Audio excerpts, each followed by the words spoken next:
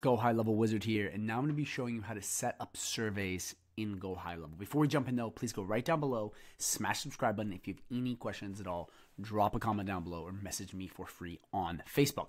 So we're going to come right to sites. Then you're going to come right to surveys. Okay, and you'll be brought to a page that looks just like this. First, though, I just want to go through what a survey is, okay, and how it's different than a form. So, beginners, pay attention. Advanced people, bear with me. A Go High Level survey helps collect detailed feedback like customer satisfaction or market research.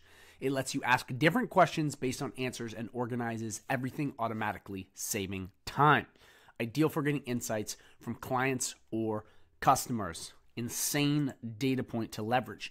Now, this is a big one because I get this question a lot. Is a survey a form and is a form a survey? They're very different. And I'm also going to show you examples. In Go High Level, forms are simple tools to collect basic information like contact details or signups.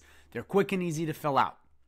Surveys are more advanced and help gather detailed feedback or opinions with more question types and the ability to ask different questions based on answers.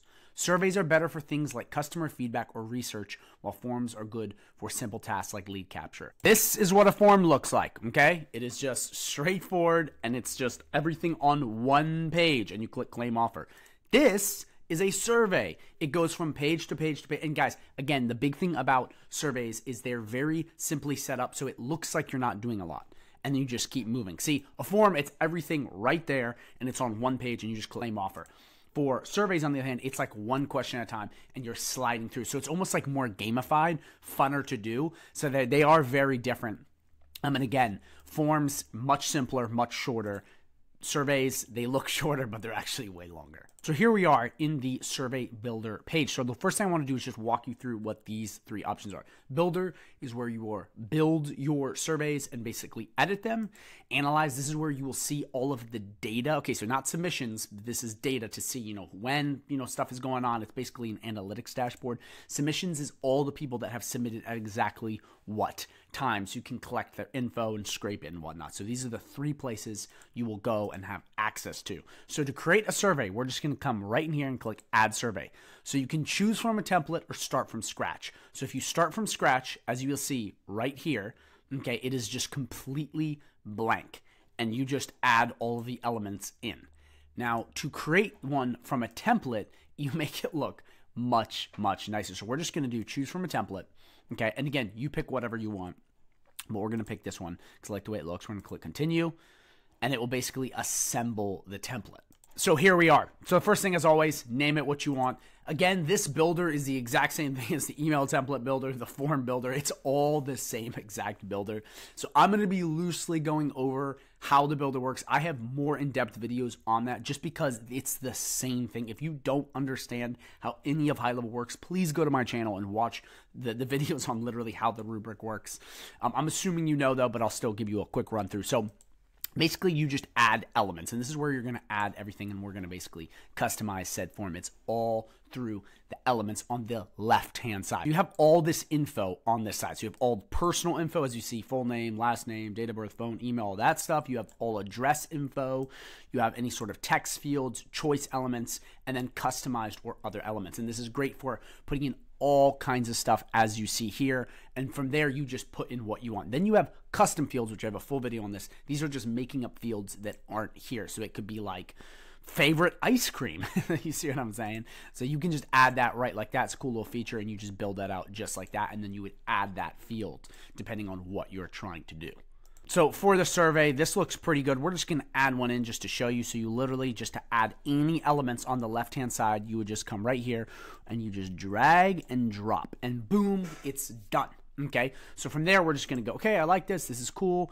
And then we basically have our survey done.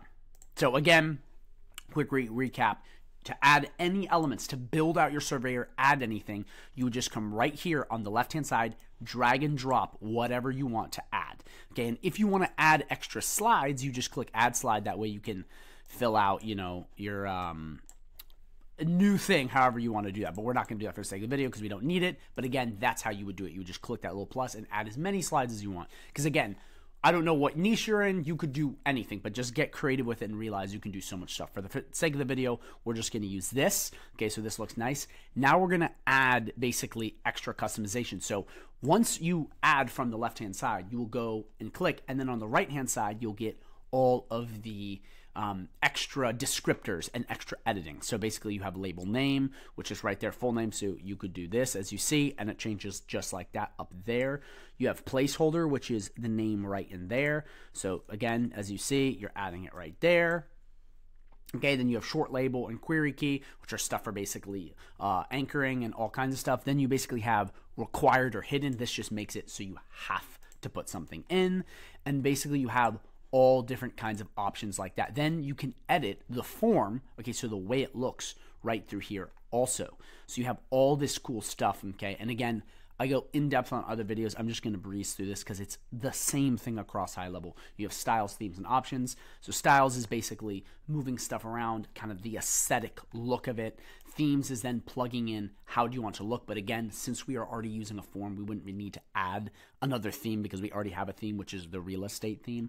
But again, if you were doing blank and you want to quickly add a theme, you just come in here and go uh, use theme, and then you would just do proceed, and then it would change it to be looking just like that. But we don't want that, so we're going to undo that. But again, that's where you would add it.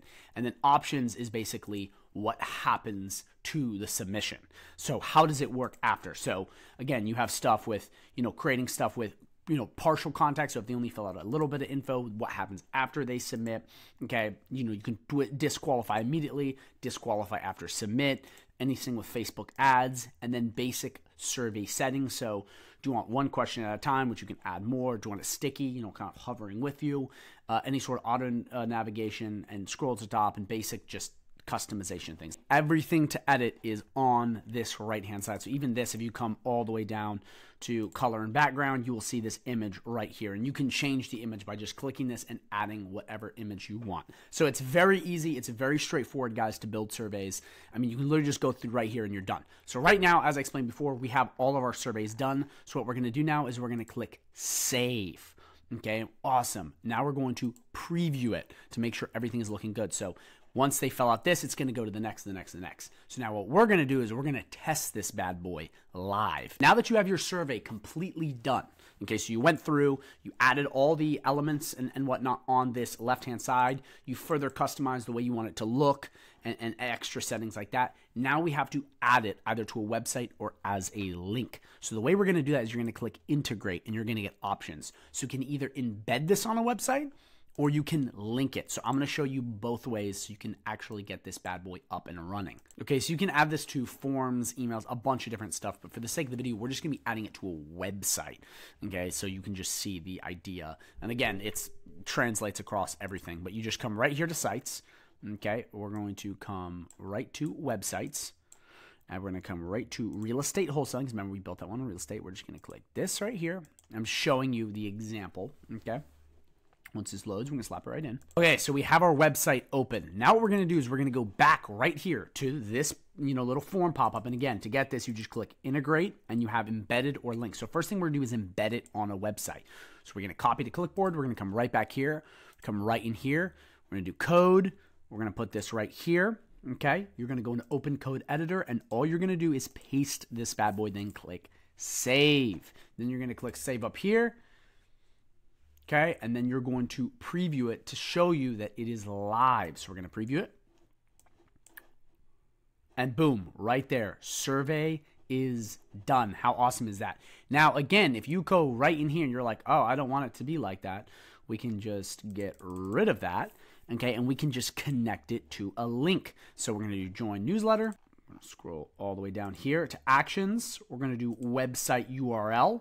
Then we're going to come back right here. We're going to go to link. Um, we're going to copy said link. Come right back here. And paste this right in here. Okay, and you can open a new tab if you want or not. So we're going to click save.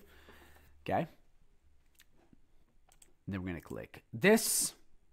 And we're going to click this.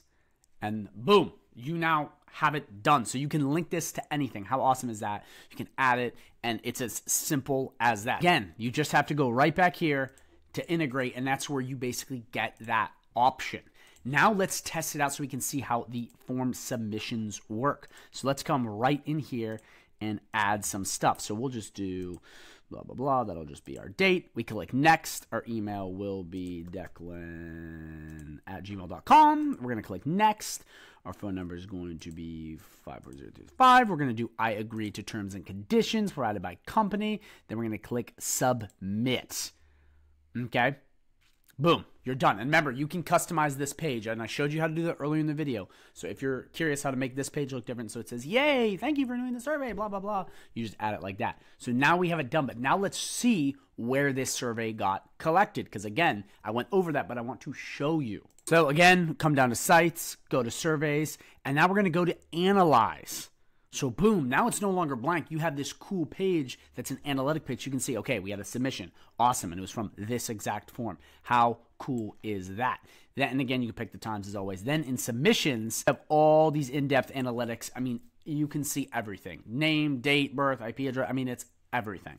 So it's really that simple. So, guys, that's all you have to do to get these set up, either for your clients or yourself. And again, these can be so powerful for collecting super important info, but also for doing sort of sales things to gauge, you know, whether or not your customers want this or that. That way you can give them a better product. But that's in a nutshell, guys. Thank you for watching. If you are interested in high level, or really learning more about this and becoming good at selling and all this other stuff, I have a 30 day free trial link down below not a 14 day, an exclusive 30 day free trial link where you'll get all kinds of goodies, snapshots, help from me, everything, and access to a potential partnership idea where we'll really go in depth together on this in high level. Uh, but all you gotta do is go down below and sign up with that. For questions, you can drop a comment down below or message me for free on Facebook. Other than that, guys, thank you so much for watching, and as always, go high level wizard out.